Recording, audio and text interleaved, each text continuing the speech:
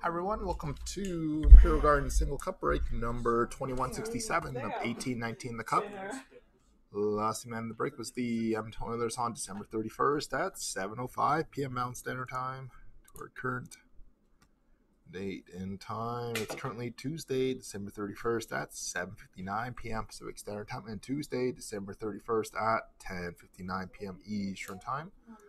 Live on Breakers, live on YouTube, and of course, for anyone who hasn't signed up on our site, you can sign up there. And that's what we got scheduled coming up. We got mixer full, a couple spots left in the basketball break, and then jersey mixer pretty close to filling up.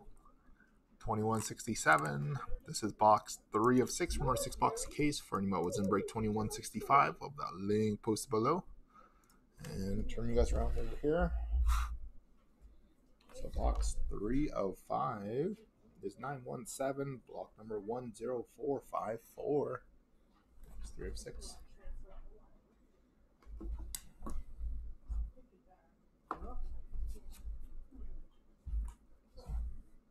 So 1 or 0454 box 3 of 6. So appreciate getting everyone. Happy New Year's again. Mm-hmm.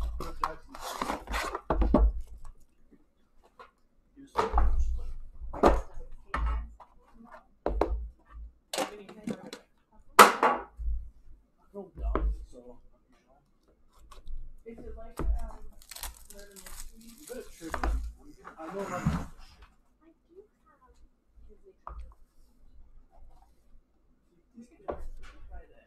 That's really fine. So we got something in here. As long as you're not too competitive.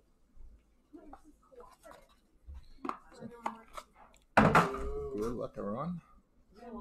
And Happy New Year's again. Start off with a base 221 out of 249 on Bob Orr for the Boston Bruins. And a two color auto rookie patch 52 out of 249 of Travis Dermott for the Toronto Maple Leaf. And we got a limited logos going out to the Calgary Flames. We got Sean Monahan, 37 of 50. Nice four color patch on that one.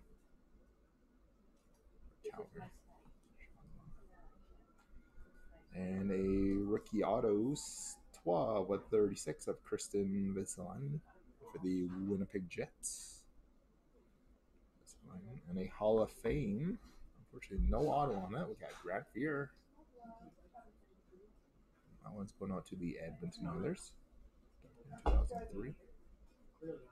Fear and finishing up the mm-hmm. break with a rookie class 2019 26 out of 249 of Casey Mittelstadt. And That's for the Buffalo Sabres.